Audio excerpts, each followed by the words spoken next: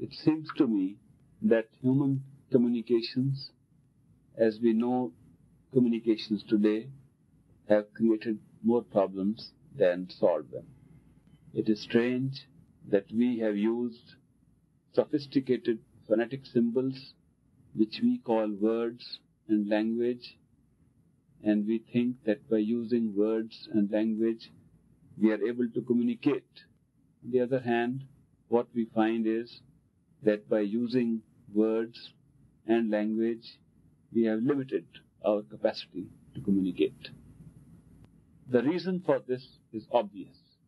Words mean to a person what that person has associated with those phonetic symbols. What are words?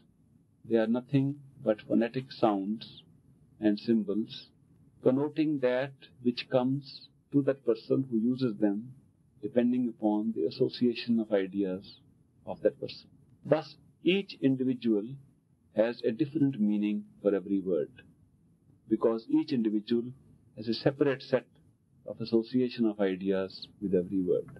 It is just not possible for two individuals to have the same association of ideas with a word. And since the meaning of words is arising from those association of ideas, it is not possible for two individuals to give the same meaning to one word.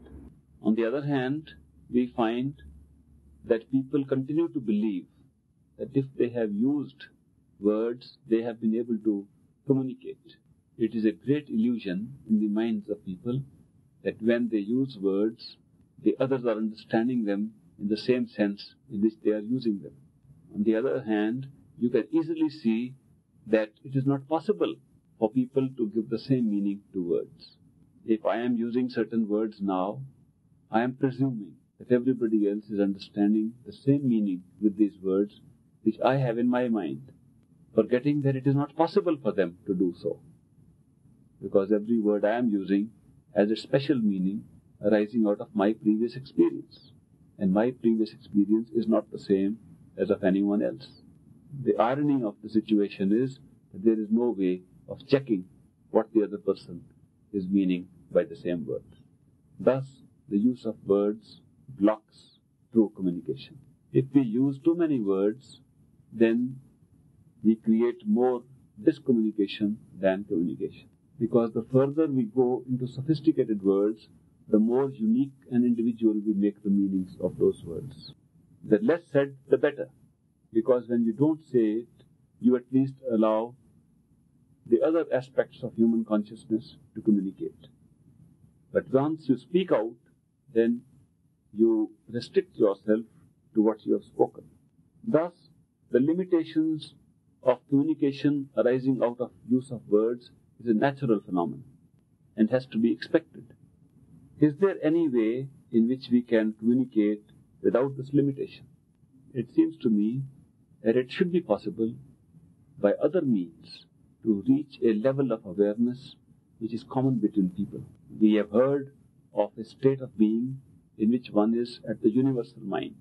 I presume if one reaches the level of awareness of the universal mind, one transfers the understanding to the other person being at the same level of the mind. We have heard of communication through love and intuitive abilities.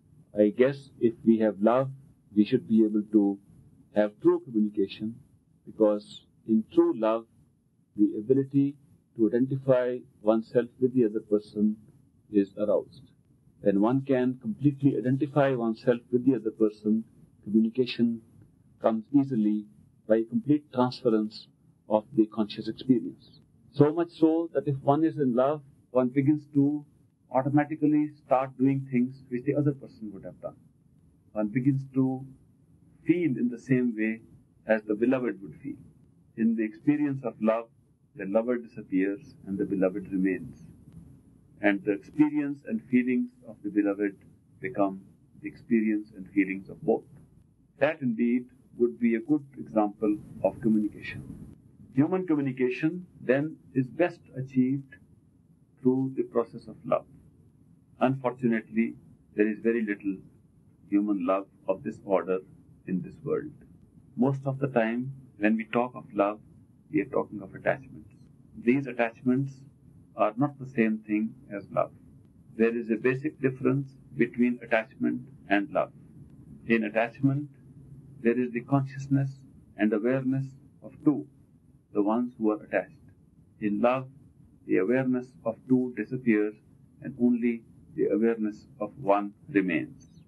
If somebody says to another, I love you, you can be sure that is a case of attachment. Because in the awareness of that person, both I and you prevail. That person is conscious and aware of both I and you. If you look deeply into this, you might discover that such a person is more in love with the I than with the you. Therefore, it may just turn out to be another big ego trip, which he calls love. If that I is hurt in any way, then I love you instantly becomes I hate you. This immediate transformation of I love you into I hate you occurs because, in fact, there was no love in the first place. This was mere attachment. It was self interested, selfish attachment. Even when a person is not aware that it is a self interested attachment, even then it is attachment. If there was true love, what would a person say? Would he be able to say, I love you? I doubt if he can ever say such a thing in these words. I doubt if he will have the attention available to say, I love you. I think if the person is really in love, he would be so much filled with you that he would have no time to notice either the I or the love.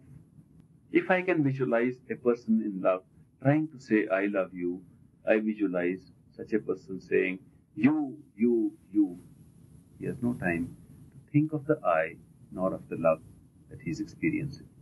He has filled his awareness so much with you that he has got nothing else left in the awareness except you. Love is the art, the practice, the science, the experience of completely identifying oneself with the other. It is a real experience of togetherness and oneness. It is not oneness only in the physical sense. It is oneness in the sense of experience. It is oneness in the spirit. It is oneness, oneness at every level of awareness. When that feeling of oneness comes, then the physical separation of those who love does not really matter because that oneness persists and they stay together in that awareness. Even when physically apart, that oneness goes on. In love, there is no possessiveness. One does not feel that the object of love or the beloved is being taken away because no one can take away true love. Real human communication will come only through this kind of love and not the one that is really attachment. How can we then consider the kind of communications that are going on at present. I have already mentioned that the use of words limits our communication to a level where we are not sure at all what we are saying to each other. Mental transference, telepathy, understanding each other by signs other than language and words do mean something. Some time ago, I was in a hospital for surgery of the eye. One of my very dear relations came to see me and tried to communicate with me with a surfeit of words. Started by saying hi and ended by saying bye, and in between the two, loaded uh, the communication with words like get well soon and you are very cheerful and you are doing fine and I'm missing you and things like that. Although these words were very sentimental, they did not seem to convey much, much and did not seem to communicate much. Then came a man from a far off area, an elderly man who had a grey beard and who did not know my language. He came and sat near me. He looked at me, and his eyes were moist. He stretched his hand, and I placed my hand on his hand. He pressed it a little. He turned his face away and walked away without speaking a word. He had communicated a lot. It is not necessary to use any words at all for communication. It is easily seen that both communicated the same thing, one was able to achieve communication, the other failed and limited it by use of words. Thus, there are many ways in which one communicates. One of the ways in which people can communicate through love is by loving God. It is seen that if you love God intensely, people love you. And that love need not be expressed, it is there. The more intensely you love God, the more you experience the love of people for you. It is strange that you are doing nothing, but you are getting that communication through love. There are other experiences like that which bring people closer, and no words need be used for such experiences. In modern day societies, the inadequacy of communication through words has created a lot of problems. Words are used by your mental processes. That part of our human consciousness which is constantly using words is called the middle mind or the thinking mind. The thinking mind of a human being is using words for thoughts all the time. Thoughts are a stream of words passing through the mind. And those words move through the mind whether we are awake or asleep, whether we are talking or we are quiet, whether we are walking or lying down. The mind never stops thinking in words. Even when the mind visualizes an image, the image which the imagination can see, it must comment upon that image in words. Even when the mind wants to perceive something that is going on, it must perceive by saying to itself what it has seen. The mind is constantly talking and constantly listening. The mind does not understand anything except when it has spoken and listened to what it has said. All perceptions, all sense perceptions are converted by the mind to the process of listening. Because if you merely see a thing and don't allow the mind to interpret what you have seen, you know nothing. You have seen nothing. The interpretative function of mind is performed by the device of listening. The mind interprets perception by recording in words what it has seen, or what it has felt, or what it has touched, what it has smelled, what it has tasted. All sense perceptions are reduced to one single perception of listening. That is why it is said that the soul has ears and perhaps eyes, but no other senses. But the mind has basically only the sense of listening. Through listening, it can convert into meanings all the other sense perceptions. When this mind is used for communication between human beings, it creates problems. The mind, by its very nature, can only use intellect for communication. Intellect is the power to analyze. Analysis means breaking up a thing into pieces. You cannot analyze anything except by making segments, categories, and small pieces of the thing. Opposed to analysis is synthesis, which is the function of the soul. The soul likes to synthesize even different experiences and put them into one huge sweep of experience. Thereby the soul can have a communication with the total, with the whole. But the mind must break it up into small pieces and thereby it creates the feeling of violence and tension. When it breaks something, it creates violence and tension. The mind has the capacity to break people's lives, to break people's hearts, to break people's love, to break itself. This terrible destructive power of the mind arises out of its very nature. When the mind is used for communication, it creates all these problems. The mind creates doubts and fears all the time. The mind is constantly creating suspicion and doubt. Even in the case of experience of love and everything else should settle down because one has realized that the lover and the beloved are one. The mind steps in and breaks them apart, creates suspicion, misunderstanding, and ultimately break up. The more we rely on the mind, the more we suffer.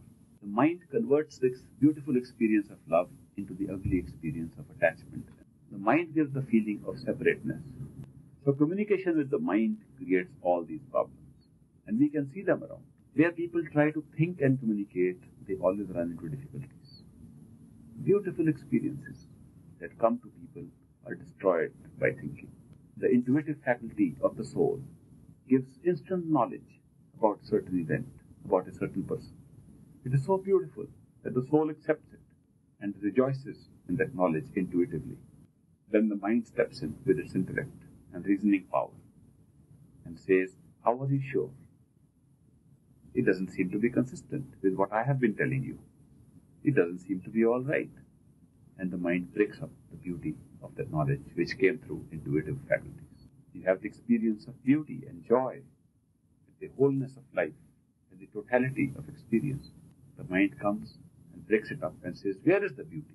I'd like to see, and tears to shreds that fabric of experience, and each piece is reduced to nothing. If you had a beautiful large painting and you saw the beauty of it from a distance, you would be seeing it virtually like you see beauty with the soul. If you cut up that painting into small strips or pieces, one inch square, and even if you saw all the pieces a hundred times over, you would never see the beauty of the painting. Once you break up a painting into small bits and try to see where the beauty lies, you do not see it. The mind is trying to break up life into little bits and trying to see where the beauty is, and it cannot see the beauty. Beauty has always been seen by the Spirit. Beauty has always existed in the total, in the whole, and not in the parts. So when we communicate with the mind, we create these problems of destroying beauty, destroying love, destroying the certain knowledge of intuition. Once that happens, we can communicate no more. When I look around people who have been such good friends of mine and see how their hearts are full of love, their thoughts are full of love, their love personified, and yet two people of the same nature have had such big misunderstandings, such big quarrels, fights, separations, one is left in wonder. If one looks into how it happened, one can very quickly see the role the mind has played in this process. So long as mind and intellect are the tools of communication, this limitation will always be there. These problems will always be there. Unless we overcome these limitations by not relying upon the mind and intellect as the tool of communication, we shall never have true communication. We can have true communication without limitations, without problems, only when we communicate with the soul. Only when we have oneness in experience, then we can have communication of oneness. How do we communicate with God? How does a person communicate with God when he realizes God? The answer is man only communicates with God by becoming God. If somebody were to say, Can man see God? The answer is no. Because by the time he has become capable of seeing God, he has become God himself. And before he became capable of seeing God, he was man. God and man are the same thing. Man in his totality is God. The way man can see God is by becoming God. The way man can communicate with God is by becoming God. Similarly, two human beings can communicate with each other only by becoming each other. They cannot communicate in any other way. This is, of course, a very rare occurrence. It is rare because uh, we are living in a society in which education, cultural development, and all other processes of change are only developing our intellect and our minds. There seems to be no attempt to develop the soul and the intuitive faculties and love and beauty. When we transform society by laying emphasis on the need to develop intuitive abilities, by giving equal share to the soul along with the mind, then we shall look forward to having true communication without limitations and without problems. Thank you. If there are any questions, I shall be glad to answer. How do two people that have the experience of oneness communicate then? I mean, two people that are that have achieved that state, how do they communicate in the physical body? Whatever one feels, the other feels automatically because they have achieved oneness in awareness. So if one feels love, then the other feels love. Automatically at the same time. When a person is in a state of deception themselves, it's very difficult to communicate truth. Yeah, that's right. When you are in a state of deception yourself, what will you communicate to the others? Now, if you're in the state of deception, is it easier to recognize truth than to communicate? If your intellect does a good job, it can do its best service to you by telling you that this is beyond the intellect. The best contribution intellect makes to a man's growth and spiritual advancement is when the intellect tries everything and then says, I can go no more. This is beyond me. When that happens, then a person begins to move away from the intellect and deception to truth. So I guess for human beings who are living in a state of deception, the only thing they can do is attempt to use words that have meaning. What is the best use of words as a human being since we tend to have that form of communication? The best use of words is to say to yourself, I will use few of them. That brings up another problem I can see to a certain extent, maybe through this perspective, and that is certain individuals may consider you antisocial, anti them, anti that. Uh, if you choose not to speak too much, uh, in some societies, especially in Western society, uh, people ex- seem to expect you to, to talk and to speak to order to be sociable. I have not been born in the Western society, but I have spent several years in the Western society. My own experience has shown that when I have talked too much, I have been considered antisocial. The Western people have loved me when I have spoken less. I think you might try and see if there is any other rule applicable to Western society. The point is not whether you are speaking or not. The point is, are you communicating or not? Even in a party, with a number of people present, if you communicate, you are with them. I'll give you one small example. In a party, people are smiling at each other artificially, thinking of something else while they're talking to them. They're gossiping away without even caring to see what the other person is saying. There is no feeling that there is any social relationship. One person is listening intently and is wholly with the person who is speaking. He doesn't speak a word, but he's completely with the person who is speaking. The person who has spoken all the words thinks that this quiet person has said everything.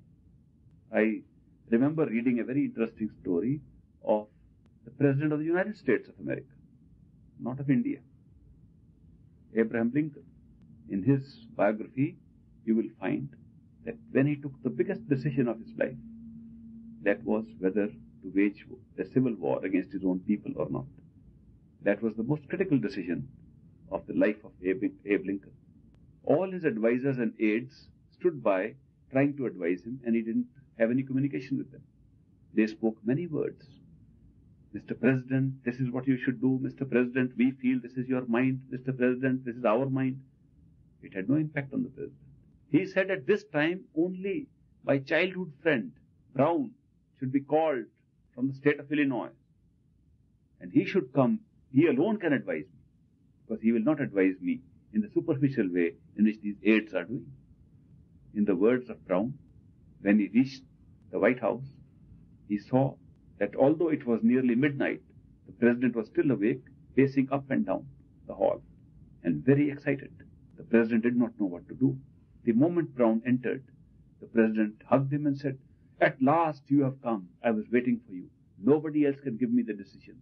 Nobody else can give me advice on the subject except you. Unless you had come, I could not make up my mind. And Brown said he began to walk up and down with the president as the president explained the pros and cons of the situation. The president explained what would be the advantages and disadvantages fighting a civil war within the country. For a couple of hours, the president kept on speaking, analyzing the entire situation in the country, the array of forces on both sides, and how, if certain moves were made, they would be beneficial and the others would not be. Brown kept on listening intently. At last, the president said, For all these reasons, therefore, that is right that we must wage war. It is for higher values of liberty and freedom that we must wage war. And he said, Thank you, Brown, for the advice you have given. Brown had not spoken a word till then. And the president took the decision. Do you realize that he could not take the decision if the man hadn't come? The man did not speak a single word. The president communicated with him and got the decision. How do you say that Western societies have a different form of communication? I see it every day. That when people use too many words, they, they just uh, intellectualize a situation which is not capable of intellectualizing. In fact, when you ask a question like this about social relationships and so on, these are intellectual questions. They are not questions of reality. Let anyone go and tell me that he has tried to be social to people through the intellect and succeeded. And I will show you 20 times more people who will say, we only were there with the heart and we were social. Seems to me that when you have oneness with someone, if you had a oneness with everyone, you just have five million different personalities. When oneness comes, then you don't need, you don't see five million people. You see only one. There is no oneness with five million. There is no oneness with two. Oneness is with one. When you have the experience of oneness, you only see one. You don't see two. This is a mental concept.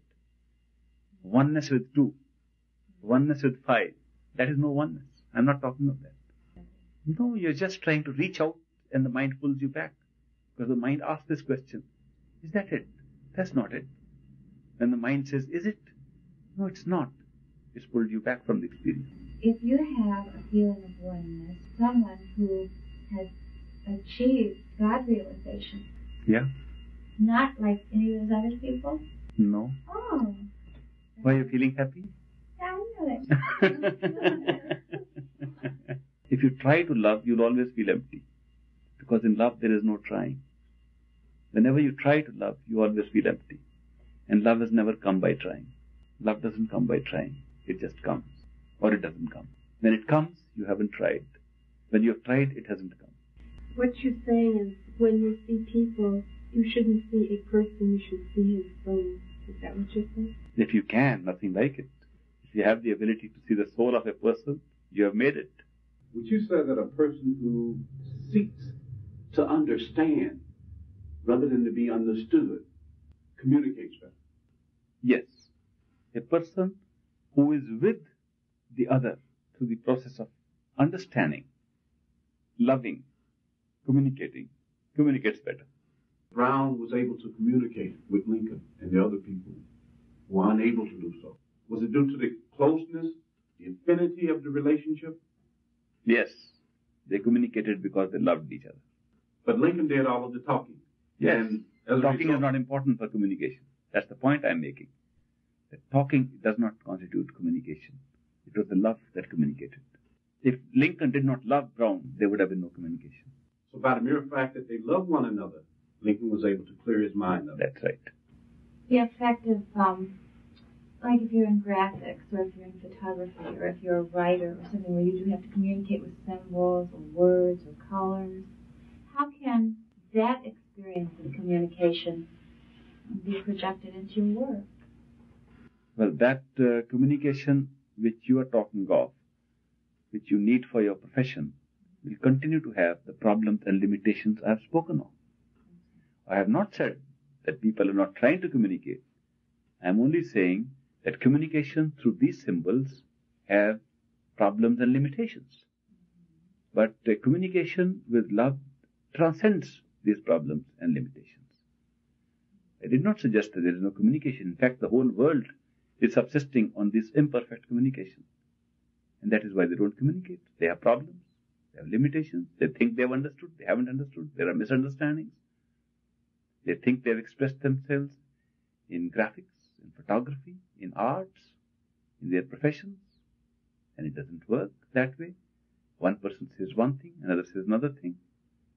I went and saw some paintings the other day, and I saw one girl watching the painting and her mother watching the painting, and I saw the kind of communication there was on looking at the same works of art. There was no communication. It was easily seen. So this is not, uh, I'm not making a statement that people are not trying to communicate through these imperfect devices. I am saying that everybody is trying to communicate only with these imperfect devices without recognizing that these are imperfect, that these limitations are inherent while using these uh, uh, devices and tools of words, symbols, language.